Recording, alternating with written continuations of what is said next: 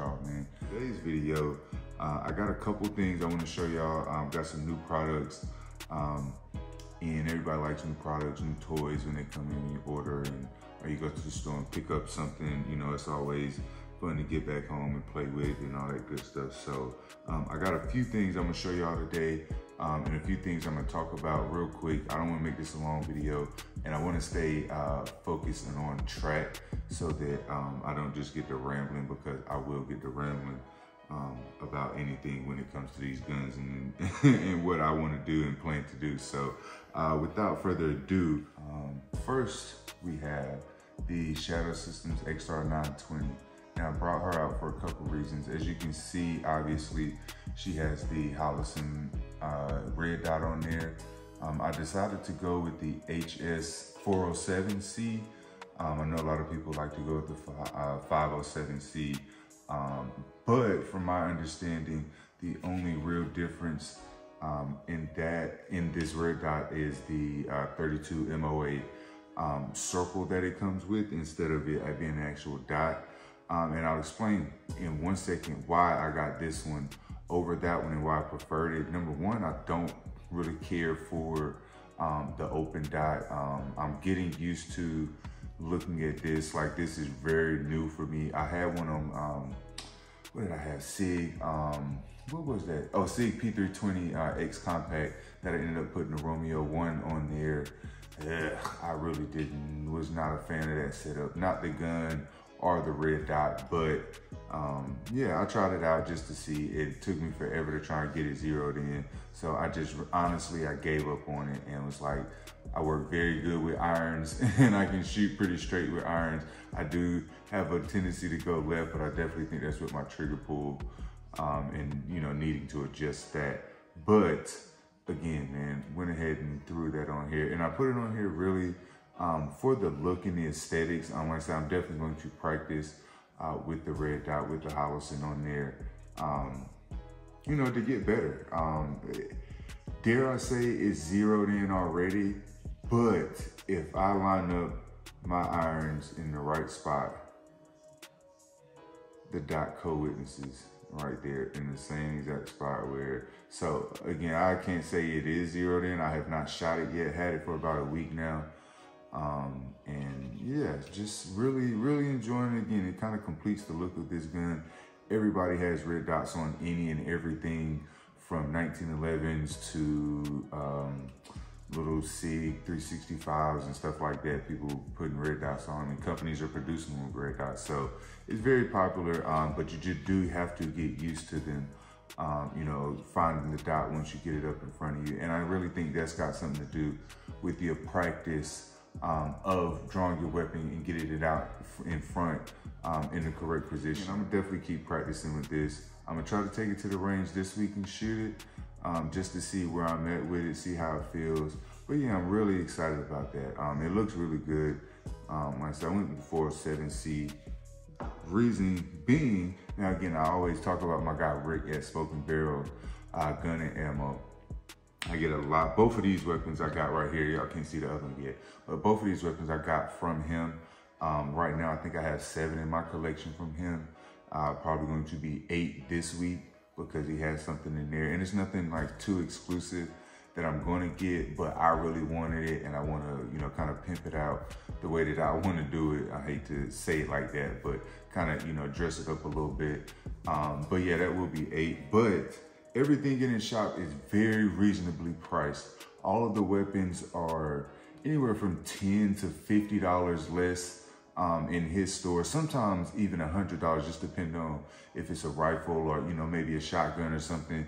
It might be even a little less. Sometimes he does have it maybe 10 $20 more, but it's still much more reasonable than a lot of the places that you find um, your weapons on. So I said, Rick, I want to try red dot. Um, and I started looking in the cabinet. Well, I saw he had the Holosuns in. Um, I had been looking online and um, like Amazon, certain places, um, pricing them out, just trying to get an idea of it. And most of the places that I looked is anywhere from like 220 to 250, 270 some places. Um, the 507 is um, like 300, 289 to 329. I've seen a couple places. So they're not cheap at all. Um, I'm not cheap person, but um, spending another weapon on a red dot when, you know, I enjoy the weapons more than, you know, all the bells and whistles that come, you know, with it. And that's kind of excessive to me. So the reason I got this is because Hope y'all can see that. And this my guy, he's Rick is very old school, so he don't have too many price tags on anything. If he does, it's a Rick price tag. But yeah, this was 174.95. Again, probably anywhere from 50 to $70 cheaper than anywhere else you're gonna find it. Um, I couldn't pass it up. He had four in there and he had like some rifle gold dots. He had the green dots as well um, in there. I had the 407K and these and the green dot. But I went just went with the red dot just because I wanted to, you know, start somewhere and get used to something. So yeah, that's the reason I went ahead and got this. I couldn't pass it up. And I'll probably go ahead and grab another one um, for the next weapon I'm gonna bring up. But yeah, man, very excited about this. Um, and I, again, even more excited because of the price I got it at. I have to show y'all this so that y'all can see because I was like, yo, 175. I said, Rick, you killing the game right now. He said, well, I'm not trying to get rich. He said, you know, I'm just trying to supply supply my people. I say, I completely understand. That's why I'm here. I'm shopping with you constantly. Every week, you know, I'm in there getting something. So uh, to end off the Shadow Systems, I did get a little sticker. Um, I had to place an order with them. Um, that's the, I think it's the MR920 Elite. But yeah, it's really cool looking for my range bag. Went ahead and got that. But I got this because I don't know if y'all paid attention last time, but the magwell was missing um, on my original collection video that I did uh, three weeks ago. Um, I had to order the pin and the um, like little receiver part that goes in there. I had to order it from Shadow Systems because it was not in my um, bag that I got with this gun. So I had to order that. Um, ended up ordering some stickers, the uh, the patch, um, and what else did I get? I think I got a shirt as well. Um, but yeah, place the order with them. Um, I saw on the website, on the you know most of the blogs or whatever, that all you gotta do is let them know you didn't get something, and they will send it in, send it to you for free. Um, I really didn't care. Like I said, I wanted to order a few things anyway. So all it was was the pins and like I said, the little receiver piece in there. So yeah, I got that taken care of. And again, she's she's put together very well. I had the light on it um, for a few days just to kind of give it that like ultimate look. But I really don't like the whole light red dot, super bulky, looking like a taser robo gun. Um, that's really not my thing. Simple and clean is what I go for in my weapon. So yeah, man, that's enough of the shadow systems. Um, like I said, got my little patch to go with that. Um, secondly, um, these Norma non-expanding defensive rounds. They came out maybe, I don't want to say maybe a month, two months ago, something like that. I got the email from Norma saying they had a new round out. Um, I want to know if anybody has tried these. It's not the newest technology or anything like that. They are the, I think, probably one of the latest to come out with one of these rounds right here. But um, I want to know if anybody um, got them. They're 65 grains, 1730 feet per second um, at 432 foot-pounds of uh, force or torque, whatever. Um, 20 rounds in the box. I think I got it for like 17.99.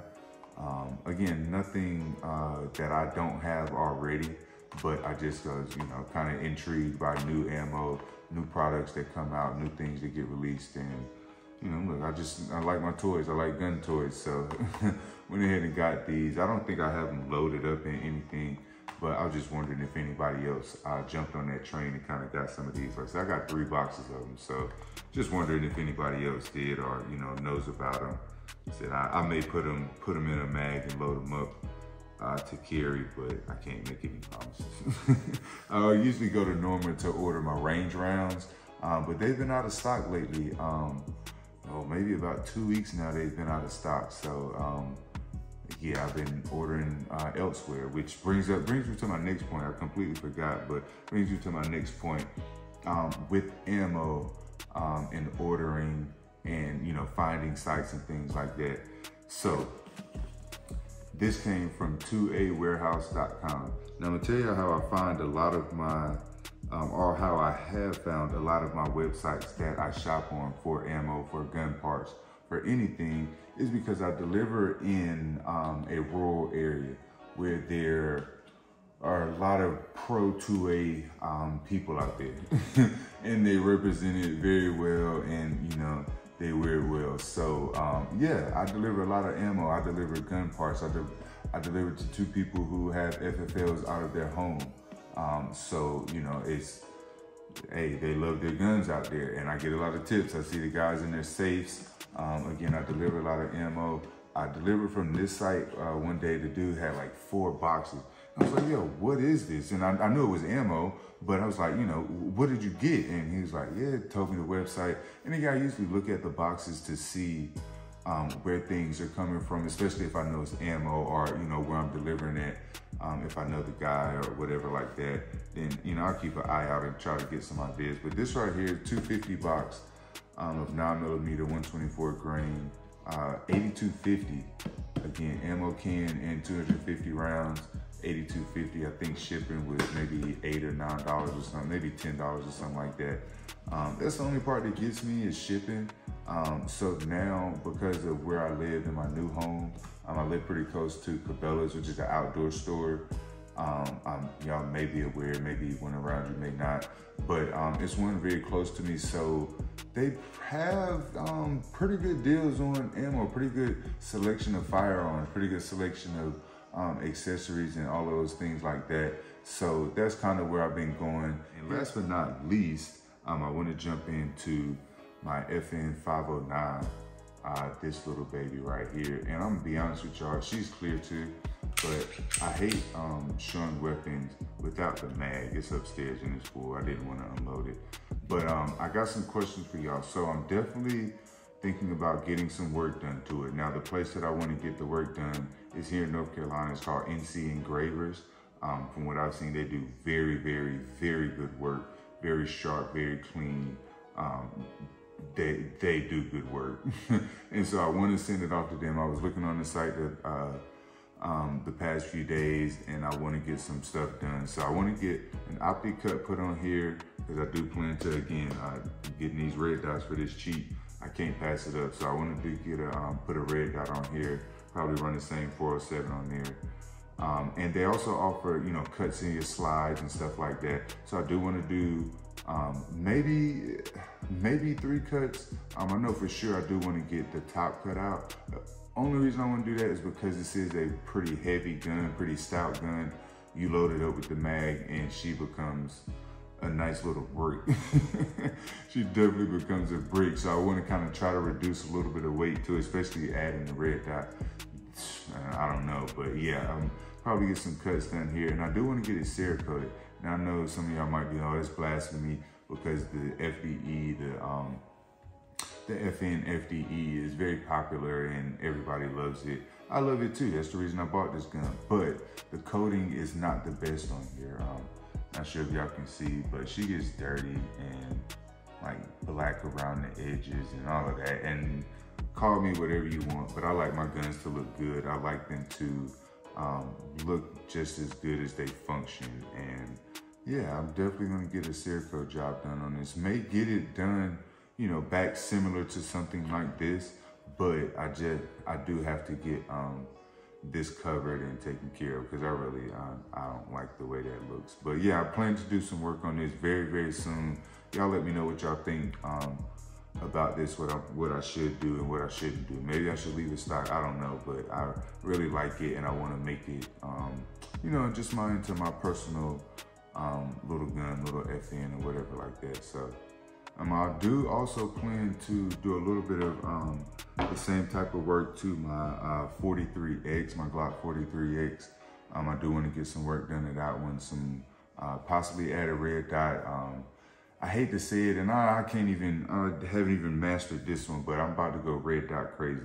And I'm gonna just let y'all know why. Number one, um, I, I, I want to upgrade and make everything it is that um, I have fully, you know, to my standard, to what I want it to be. Um, I am going to keep purchasing weapons, but now is the time for me to, again, just kind of personalize and make things the way that I want them um, to be and just kind of adjust um, the weapons because you know everybody has what I have. Everybody can get what I have. So you know, let's try to you know spice it up and, and, and give it something that you know we you can't find everywhere. That's my goal, and you know, try to be a little bit different, get that wow factor whenever I pull my stuff out. So yeah, we definitely got some work to do. Oh, I'm gonna come back with um, um, what I want to do for my subscribers giveaway. Now, y'all gonna you know be like, what in the world? But for the thousand subscriber giveaway, um, I was supposed to give away 100 rounds of ammo to five people.